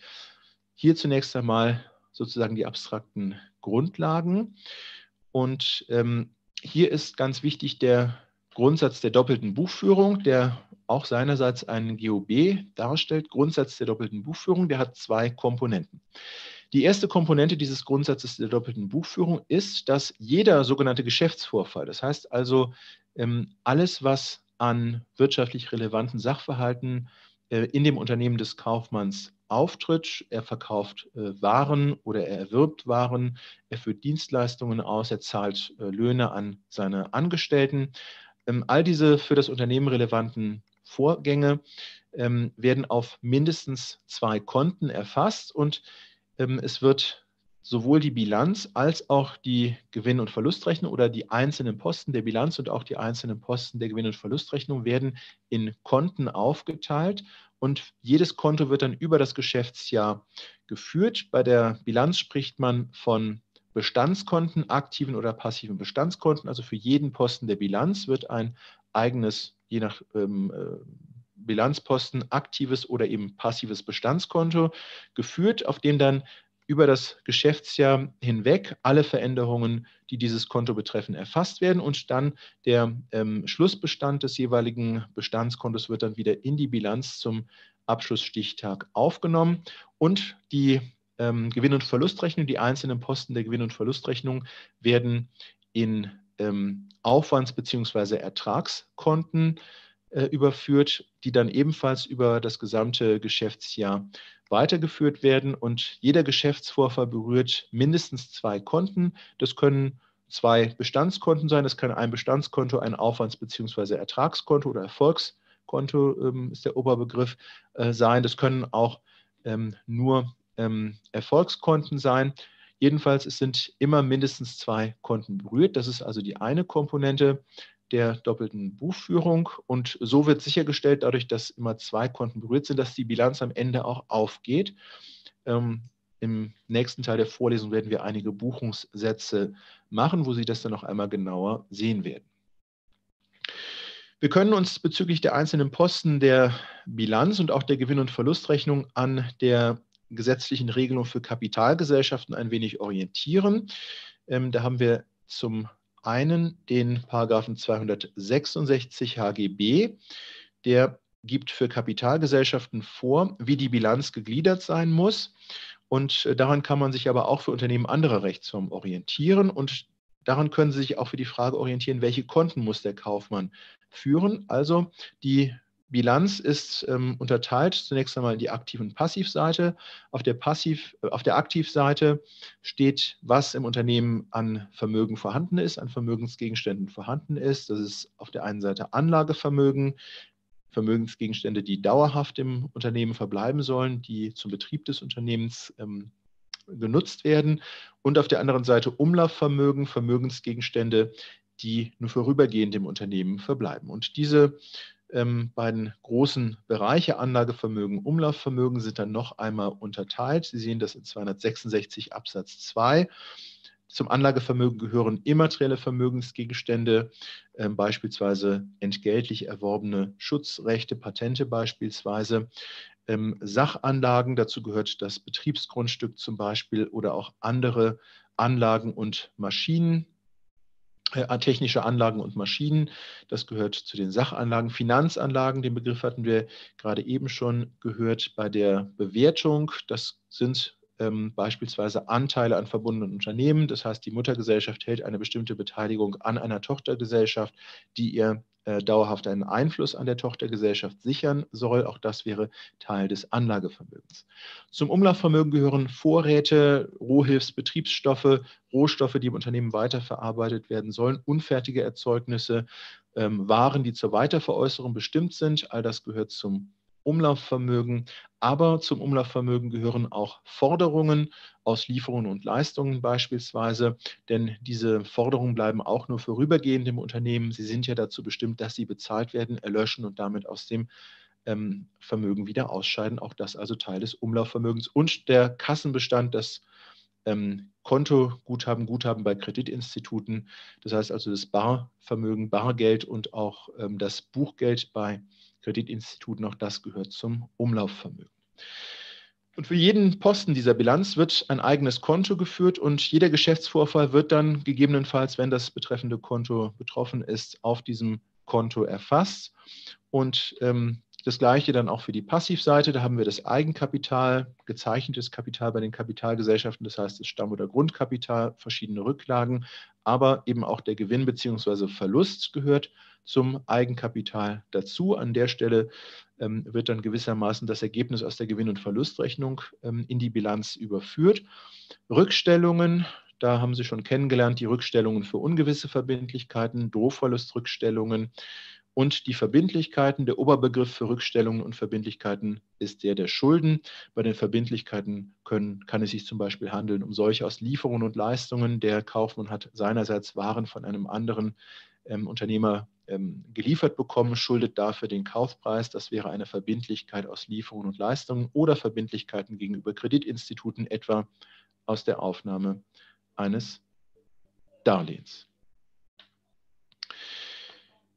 Und auch zu den einzelnen Posten der Passivseite werden Konten geführt und ähm, was die Gewinn- und Verlustrechnung anbelangt, auch da finden Sie ähm, für Kapitalgesellschaften, aber auch Unternehmen anderer Rechtsformen orientieren sich zumindest daran in 275 eine Übersicht über die einzelnen Bestandteile der Gewinn- und Verlustrechnung und zu, zu diesen einzelnen Posten werden dann je nachdem Aufwands- bzw. Ertragskonten geführt, zum Beispiel äh, in 275 Absatz 2 Nummer 1 die Umsatzerlöse, das heißt der Ertrag aus einem Umsatzgeschäft, etwa aus der Lieferung, aus der Bezahlung des äh, Kaufpreises für die Lieferung von Waren. Das wäre ein Umsatzerlös. Ähm, Materialaufwand, man verarbeitet Rohstoffe für die Herstellung von äh, Waren, Personalaufwand, Löhne und Gehälter beispielsweise und äh, verschiedene andere ähm, Posten, die ich jetzt nicht im Einzelnen durchgehen will. Wir schauen uns die einzelnen Posten der Bilanz und der Gewinn- und Verlustrechnung später noch genauer an.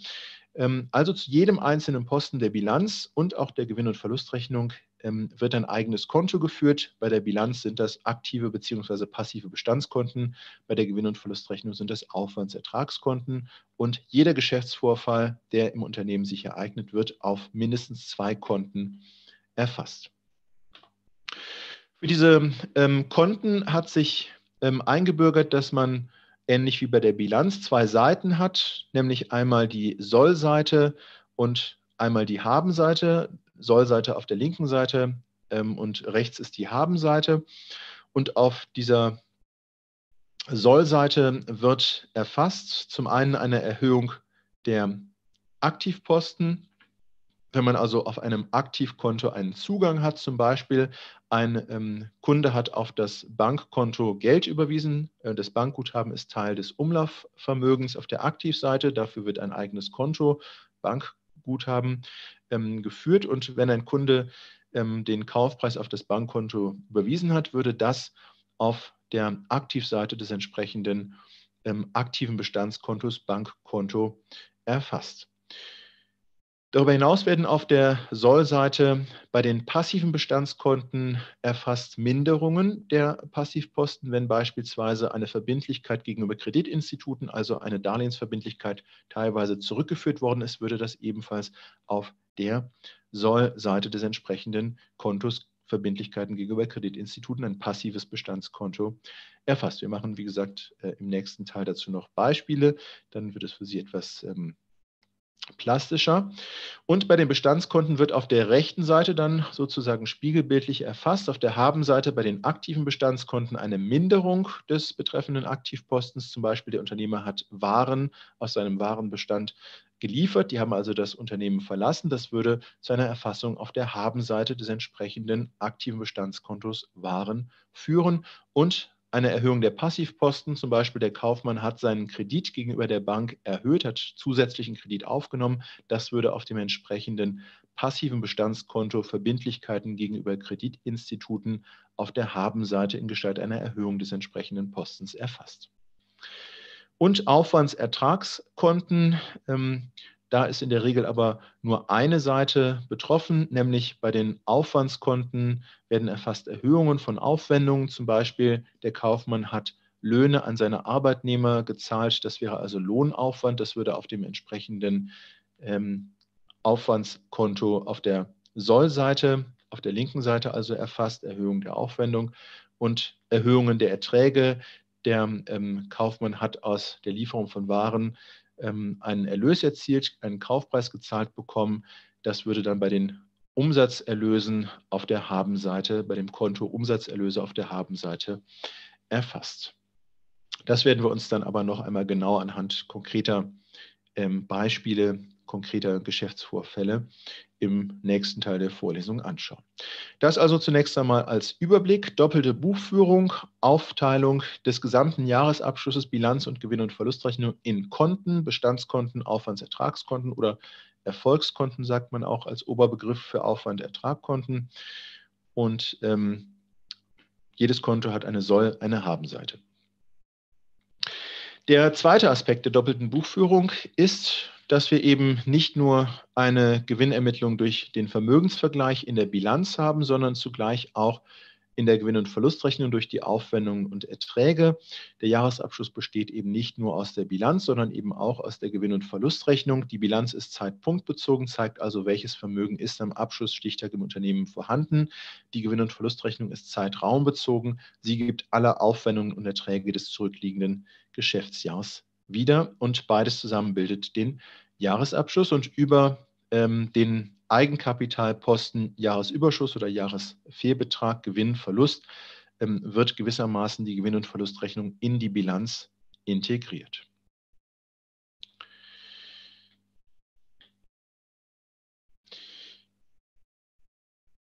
Die Buchführung und Bilanzierung dient der Gewinnermittlung, sowohl handelsbilanzrechtlich als auch steuerrechtlich. Im Steuerrecht ist das ja der zentrale Zweck der Steuerbilanz und der Buchführung und Bilanzierung.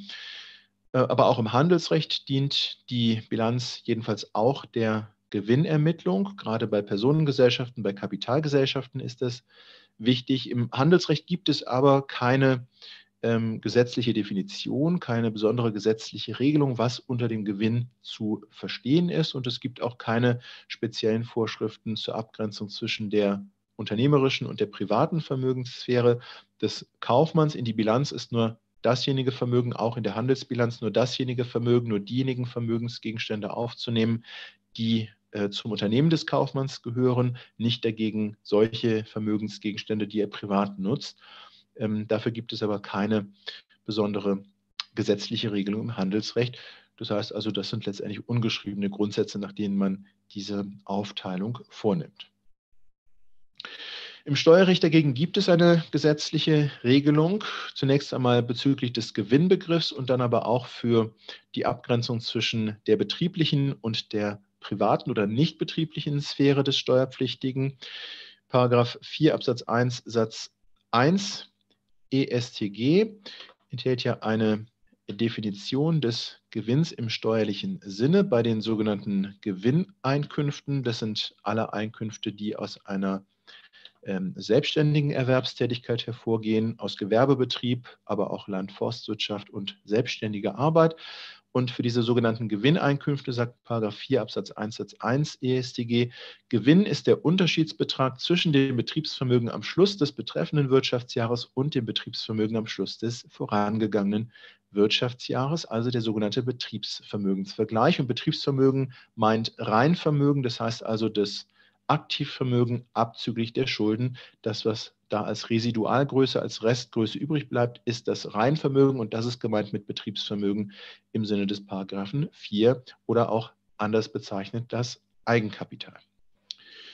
Da haben wir also eine Definition des Gewinnbegriffs und wir haben dann in Paragraph 5, den Sie schon kennengelernt haben, Paragraph 5 EStG Maßgeblichkeitsgrundsatz die Regelung, dass bei Gewerbetreibenden, die buchführungspflichtig sind, für diesen Betriebsvermögensvergleich maßgeblich sind die Grundsätze, die handelsrechtlichen Grundsätze ordnungsmäßiger Buchführung. Das heißt also, anders gesagt, der steuerlichen Gewinnermittlung wird die Handelsbilanz zugrunde gelegt. Wir haben aber gerade im vorhergehenden Abschnitt schon gesehen, dass die Handelsbilanz dann um eine ganze Reihe von steuerlichen Sondervorschriften modifiziert werden muss. Dazu nochmal das ähm, Beispiel des Einzelkaufmanns A. Seine Bilanz zum 31.12.2018 sieht so aus, dass er auf der Aktivseite Vermögensgegenstände bzw. steuerrechtliche Wirtschaftsgüter im Umfang von 300.000 Euro hat. Dem stehen gegenüber Schulden, das heißt Rückstellungen und Verbindlichkeiten im Umfang von 250.000 Euro und die Restgröße, das ist dann das Betriebsvermögen, das Reinvermögen ist 50.000. Das ist also das Betriebsvermögen zum Ende des Jahres 2018. Wir unterstellen mal, das Geschäfts- bzw. Wirtschaftsjahr ist mit dem Kalenderjahr identisch.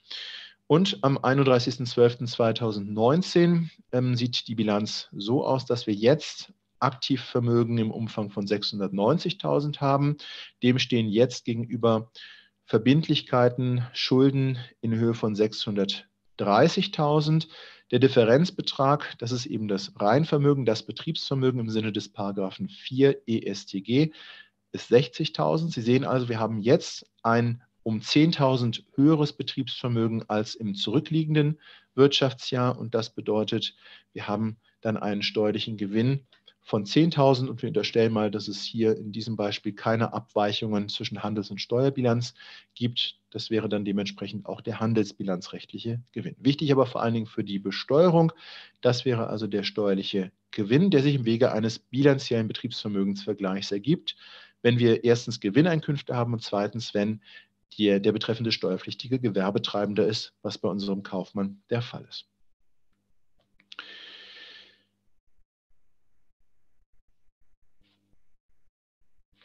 Beim, Im Steuerrecht ist äh, wichtig, im Handelsrecht auch, aber im Steuerrecht noch wichtiger, die Unterscheidung zwischen dem betrieblichen und dem privaten Vermögensbereich. In diesem Betriebsvermögensvergleich, wie die Bezeichnung schon sagt, fließt nur das Betriebsvermögen ein. Das heißt, nur diejenigen Wirtschaftsgüter, die zum Betrieb des Kaufmanns gehören, die zu seiner unternehmerischen Sphäre gehören. Nicht einbezogen werden diejenigen Wirtschaftsgüter, die privat genutzt werden. Man muss also eine sorgfältige Unterscheidung vornehmen zwischen dem betrieblichen und dem nicht betrieblichen Bereich. Und das gilt auch für Vermögenszuflüsse und Vermögensabflüsse die im Laufe des Wirtschaftsjahres eingetreten sind. Da muss man sich auch die Herkunft oder das Ziel dieser Zu- bzw. Abflüsse anschauen.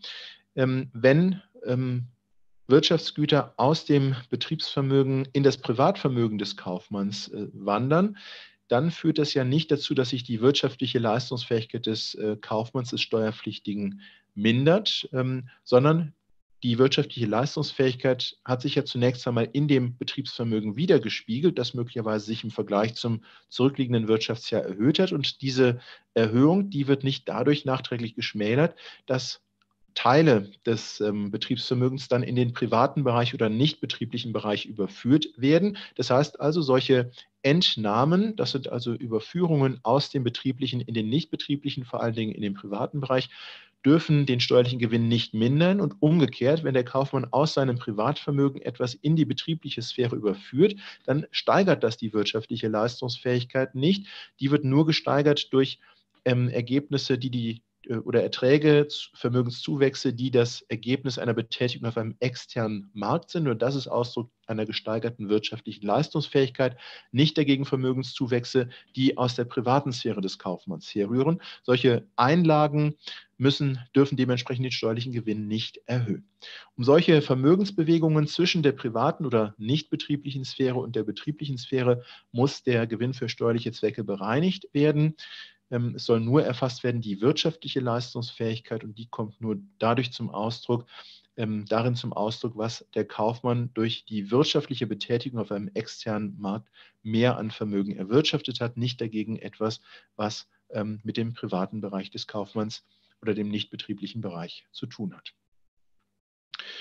Dementsprechend müssen Einlagen in Abzug gebracht werden und Entnahmen hinzugerechnet werden. Und das ist für das Steuerrecht auch ausdrücklich geregelt in ähm, Paragraph 4 Absatz 1 ESTG. Da finden Sie also Regelungen über die Einlagen und Entnahmen. Paragraph 4 Absatz 1 ESTG sagt, Gewinn ist der Unterschiedsbetrag zwischen dem Betriebsvermögen am Schluss des Wirtschaftsjahres und dem Betriebsvermögen am Schluss des vorangegangenen Wirtschaftsjahres, vermehrt um den Wert der Entnahmen die werden also hinzugerechnet, weil sie den steuerlichen Gewinn, die wirtschaftliche Leistungsfähigkeit nicht gemindert haben und vermindert um den Wert der Einlagen, Vermögenszuführungen aus dem privaten Bereich, die die wirtschaftliche Leistungsfähigkeit nicht erhöht haben und dementsprechend auch den steuerlichen Gewinn nicht erhöhen dürfen.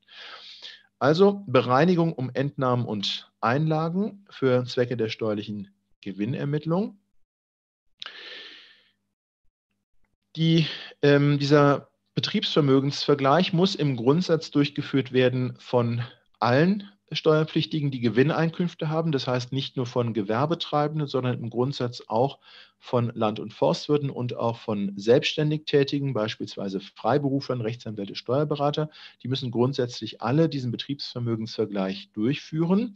Das Maßgeblichkeitsprinzip, das heißt also die Maßgeblichkeit der Handelsbilanz oder genauer der handelsrechtlichen Grundsätze ordnungsmäßiger Buchführung, das ist in 5 allerdings nur für Gewerbetreibende vorgeschrieben. Das heißt im Grundsatz nicht für Land- und Forstwirte und auch nicht für Freiberufler, für ähm, Steuerpflichtige mit einer selbstständigen Arbeit im Sinne des Paragraphen 18 EStG. Für die ist also an sich diese Anwendung der handelsrechtlichen Grundsätze ordnungsmäßiger Buchführung nicht vorgeschrieben und diese Steuerpflichtigen führen ja auch für handelsrechtliche Zwecke üblicherweise keine Bilanz, weil sie keine Kaufleute sind. Dementsprechend also konsequenterweise bei Steuerpflichtigen, die nicht Gewerbetreibende sind, keine Maßgeblichkeit der Handelsbilanz. sondern also sozusagen ein äh, Betriebsvermögensvergleich losgelöst von den handelsrechtlichen Grundsätzen ordnungsmäßiger Buchführung. Zumindest theoretisch in der Praxis, wenn wir überhaupt mal ähm, Freiberufler oder Landforstwirte haben, die bilanzieren, dann machen sie das in der Praxis doch nach den handelsrechtlichen Grundsätzen ordnungsmäßiger Buchführung. Zwingend verpflichtend ist das allerdings nicht. Bezüglich der Entnahmen und Einlagen, die wir gerade im Steuerrecht uns schon einmal angeschaut haben, gibt es im Handelsrecht keine ähm, explizite Regelung, etwa eine, eine Begriffsbestimmung von Entnahmen und Einlagen. Ähm, es gibt nur Einzelregelungen für Personenhandelsgesellschaften und auch für Kapitalgesellschaften, was sowohl Einlagen äh, als auch vor allen Dingen Entnahmen anbelangt. Ähm, da finden Sie also ähm, einzelne Regelungen für ähm, Personenhandelsgesellschaften, Paragraph 121 ähm, HGB sagt, ähm, bei der Berechnung des nach Absatz 1 einem Gesellschafter zukommenden Gewinnanteils werden Leistungen, die der Gesellschafter im Laufe des Geschäftsjahres als Einlage gemacht hat, ähm, berücksichtigt. Und wenn der Gesellschafter ähm, Geld aus seinem Kapitalanteil entnommen hat im Laufe des Geschäftsjahres, so werden die entnommenen Beträge ebenfalls berücksichtigt. Das heißt also auch hier sehen Sie, dass solche Vermögensbewegungen zwischen dem privaten und dem betrieblichen, dem Gesellschaftsbereich berücksichtigt werden, ähm, gewissermaßen bei Entnahmen auf den Gewinn angerechnet werden. Da haben Sie also eine rudimentäre Regelung von Einlagen und Entnahmen, also aber keine ins Detail gehende Regelung, auch keine Begriffsbestimmung. Paragraph 122 regelt das äh, grundsätzliche Recht jedes Gesellschafters vorbehaltlich einer abweichenden Regelung im Gesellschaftsvertrag ähm, aus der Gesellschaftskasse Geld bis zum Betrag von 4,500 ähm, zu erheben, dementsprechend zu entnehmen.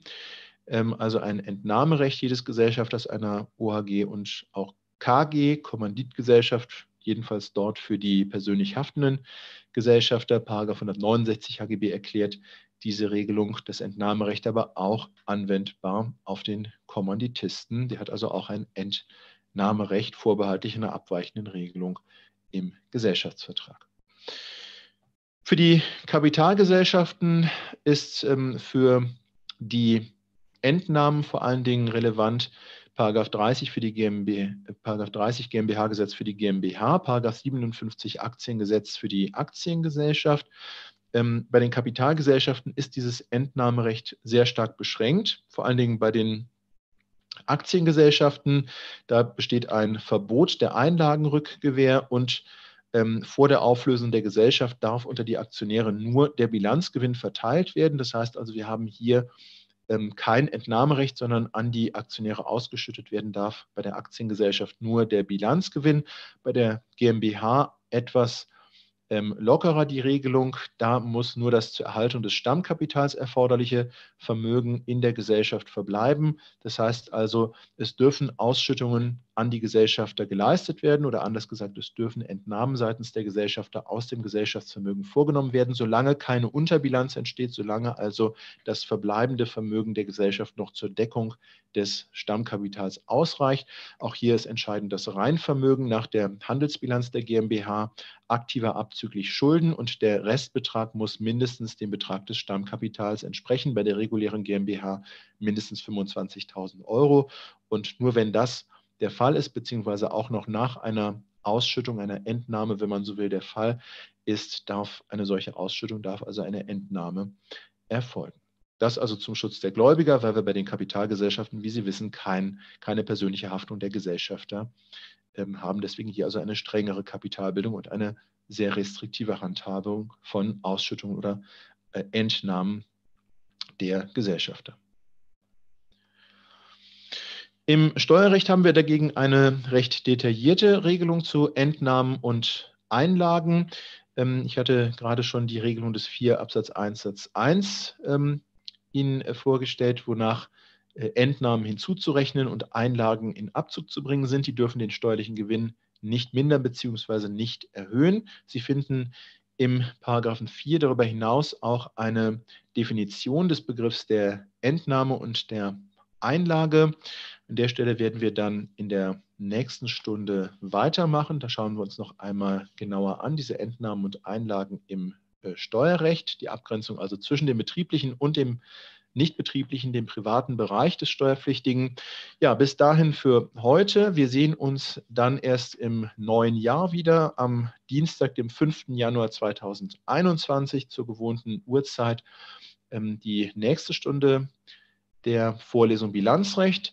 Ich wünsche Ihnen erst einmal erholsame Weihnachtsfeiertage, einen guten Rutsch ins neue Jahr. Ähm, und wir hoffen alle, dass das neue Jahr besser wird als das alte. Das ähm, man äh, also am liebsten wieder vergessen würde. Das war alles nicht so schön im zurückliegenden Jahr. Also hoffen wir alle, dass, äh, und ich wünsche Ihnen, dass das nächste Jahr besser wird. Ähm, Ihnen also alles Gute für die Weihnachtstage und für das neue Jahr. Und äh, wir sehen uns dann in neuer Frische wieder am 5. Januar 2021. Alles Gute, bis dann.